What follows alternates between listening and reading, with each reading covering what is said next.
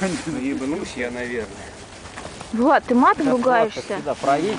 А, вот здесь едешь спокойно. А куда потом?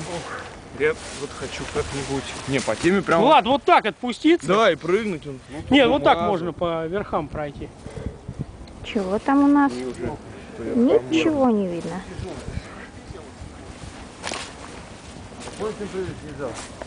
Пойдем. Еще не сядешь. Cresça aí.